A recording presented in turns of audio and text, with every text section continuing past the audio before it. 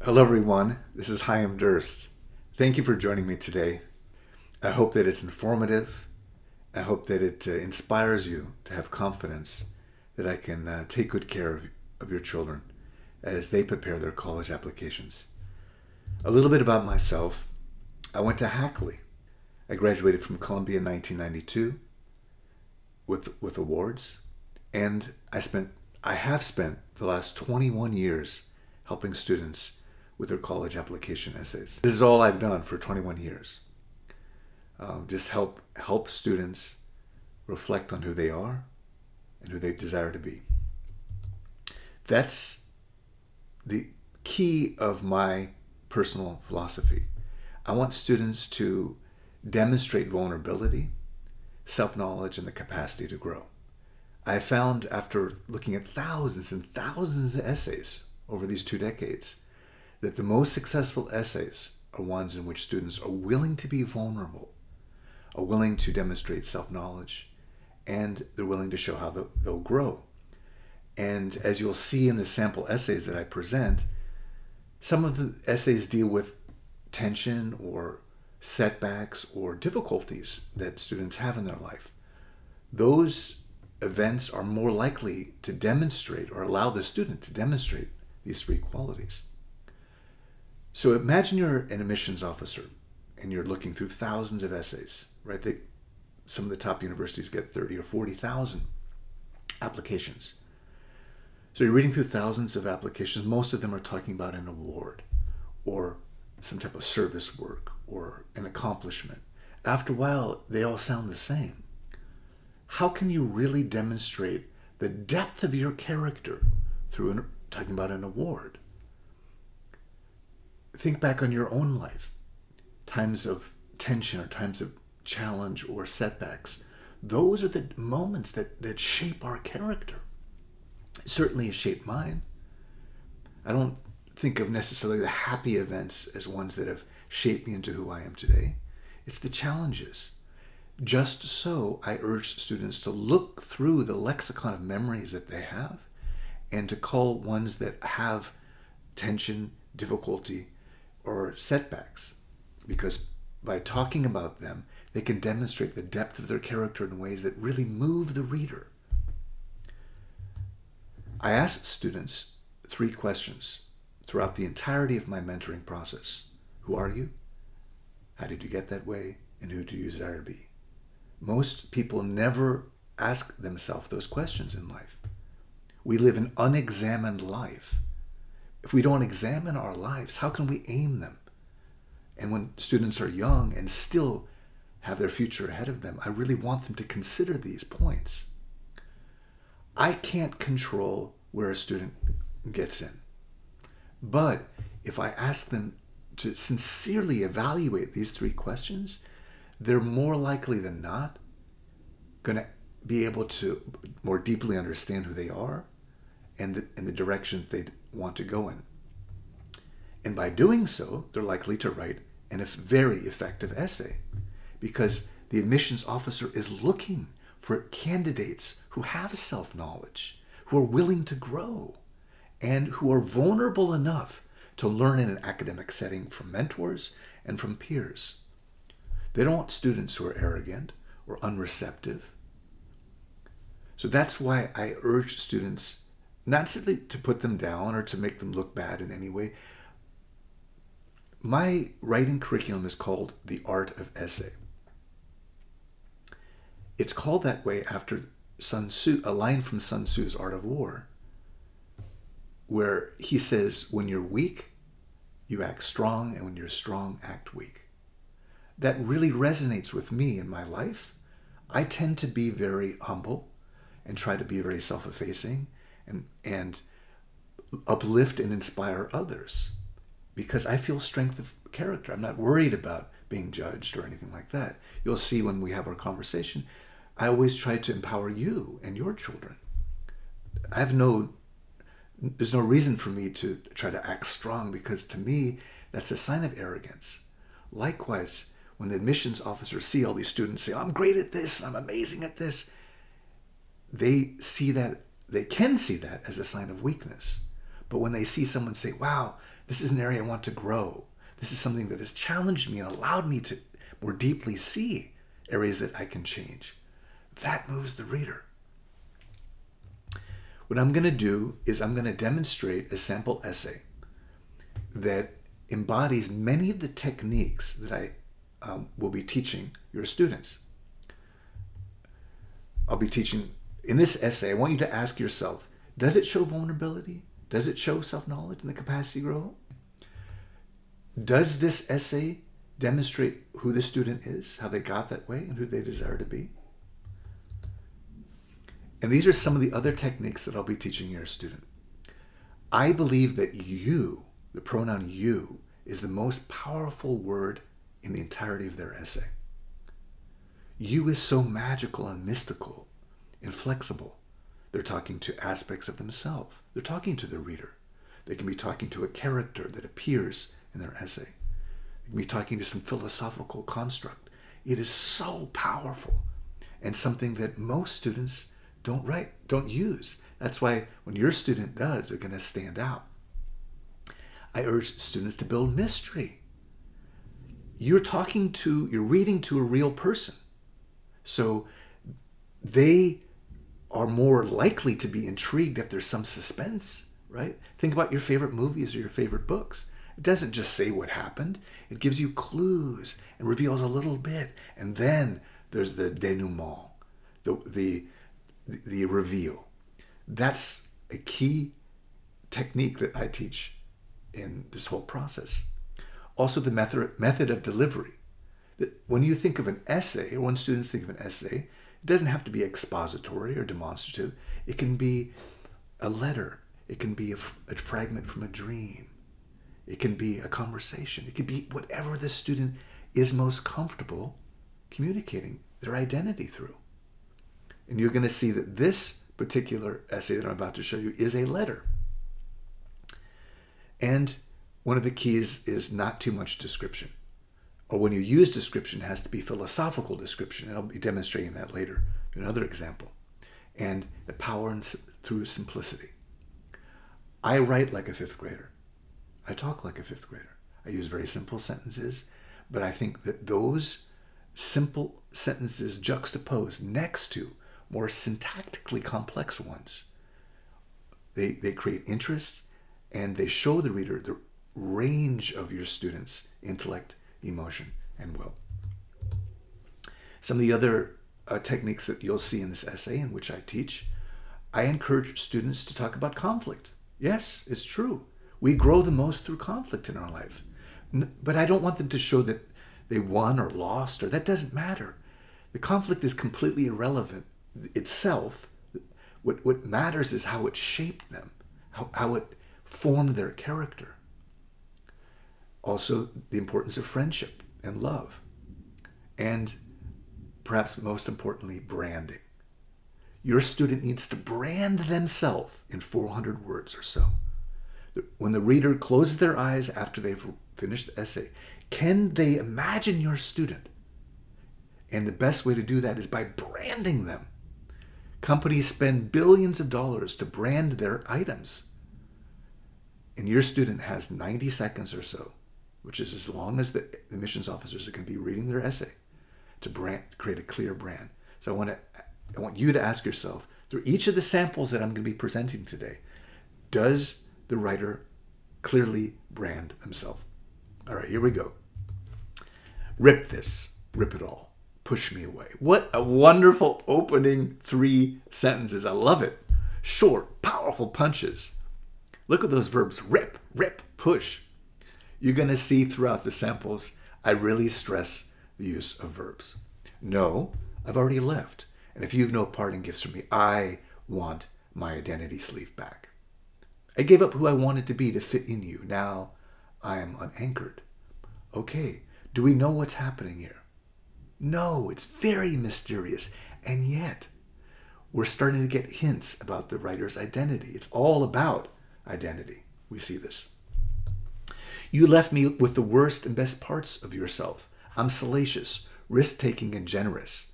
Lesser planets revolve around my passion. Just as you pick unwinnable fights with folks in faraway places, so do I. All in feisty, self righteous fury, that is. Well, there's the vulnerability. This writer is talking about weakness, is talking about areas that they need to change.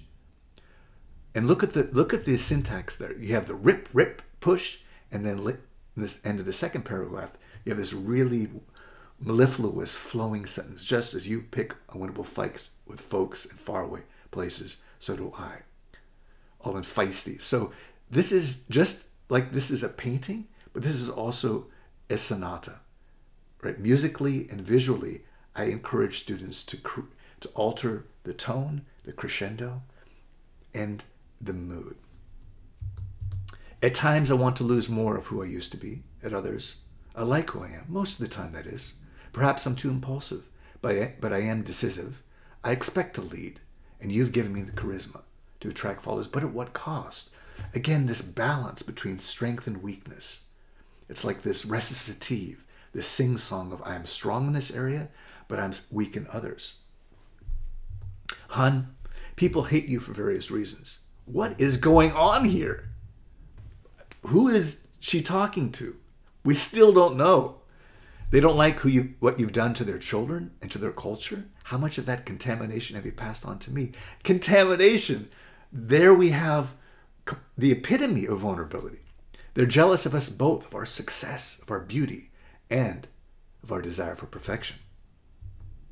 Hun, sorry, help me come to terms with that unlovable part of myself. Or do you have too little self knowledge left to see clearly? Well, there we have the theme of self knowledge front and center in this essay. You're the one who polluted my mind with the unattainable. When I first heard about you, your blessings, your dreams, I ran to your arms. You were my first love. I gave up my normal old life to join you. Look how many yous are in that sentence. Back to back to back. You, I, you, I. This clear dialectic, this tension, this conflict that this individual is having with this mysterious other. We still don't know. The admissions officer is probably going, "What is what what what's what's what's next?" That's exactly the reaction you want from the reader. You made me move, move, and move again to keep up with my broken dream until I simply refused to budge anymore. Even though I've had my disappointments, I'm not willing to give up on our investment of love and effort just yet.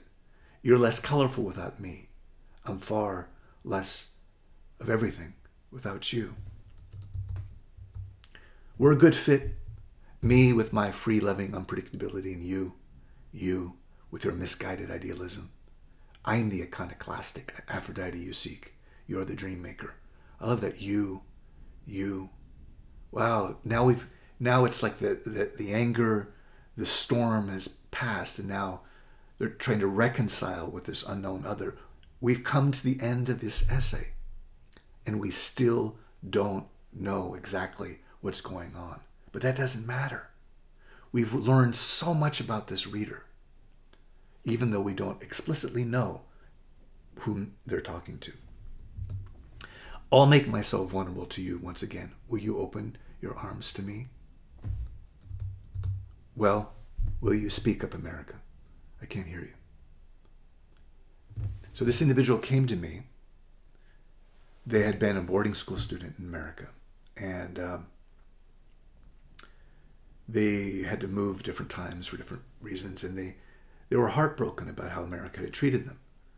And the first version of the essay was, um, "I went to America, and this happened, and that happened, and uh, I was disappointed and heartbroken, but I'm willing to take another chance.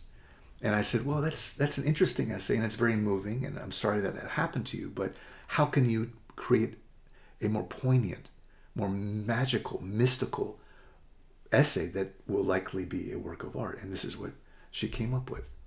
And I think was very effective. She got into her first choice college. So just so students come to me and I tell them, please write in simple terms We'll pick a topic, we'll pick an event or incident that demonstrates their character best, ask them to write it out in very simple terms. One of the exercises I use is to ask students to write in 10 words or less. every sentence has a clear subject, clear active verb, clear direct object. Once they've done that, then I say, well, why don't we transform this into work of art? So what I'm going to do now is I'm going to show you a before and after where someone came to me and this is you'll see the the first version which is very clear very simple sentences. It tells a very simple story. And then afterwards I'll show you how they transform that into a work of art. All right. I went to US for schooling 4 years ago. This is another student who came to the US and when I returned to Korea I didn't recognize it.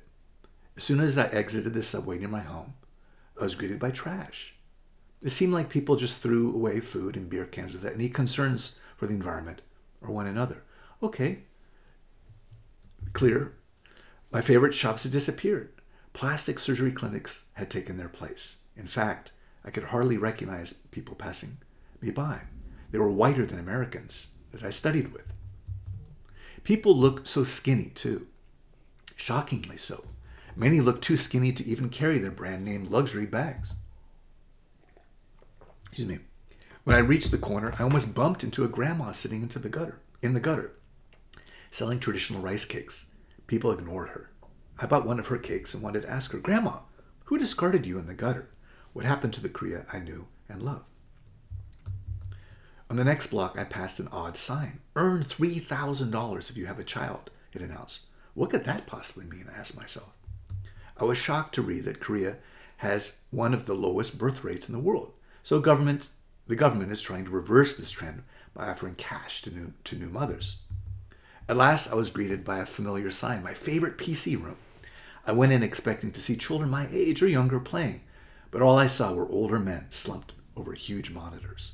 Cigarette smoke was so thick I could hardly breathe. The smoke and despair pushed me back out on the street.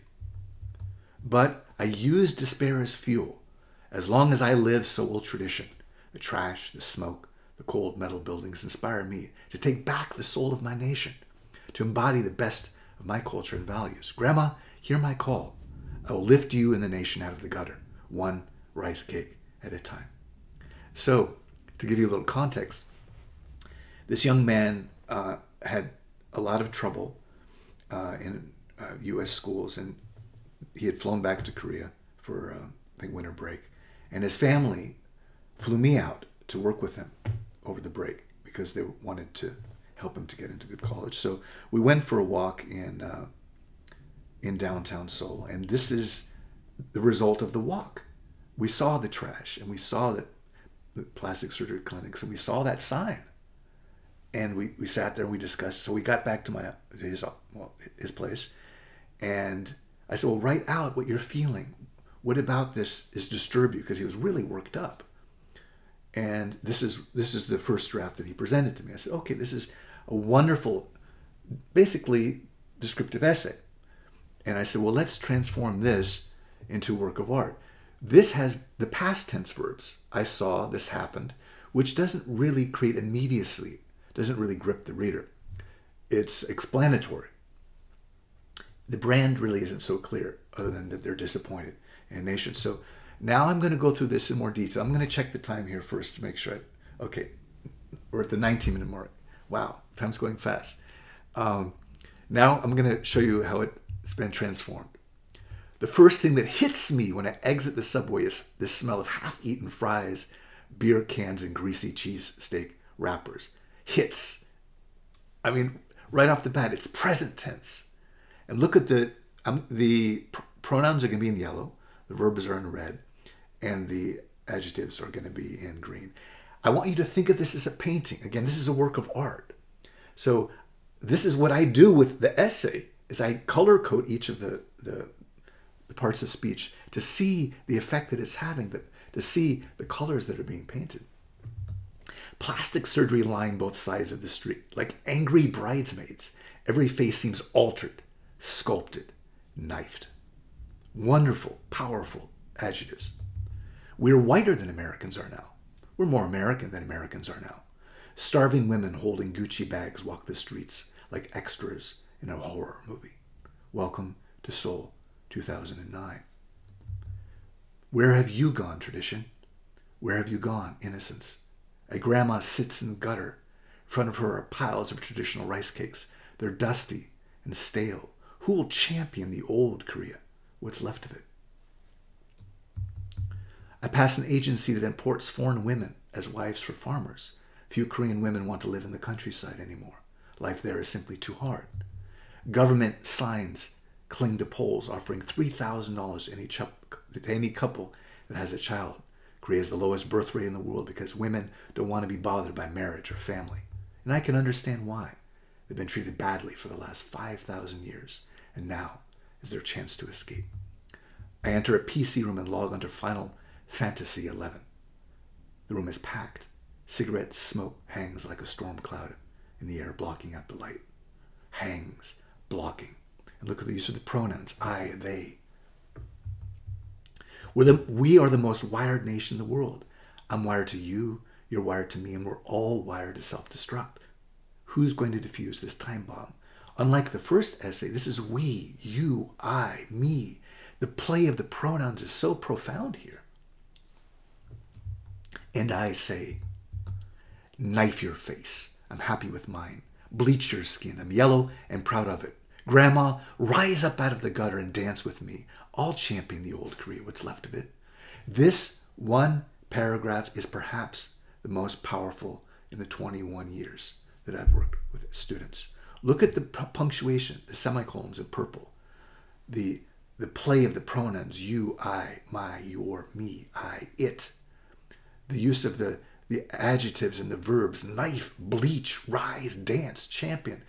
Those are some of the most powerful verbs in such a compact uh, paragraph. It's so profound.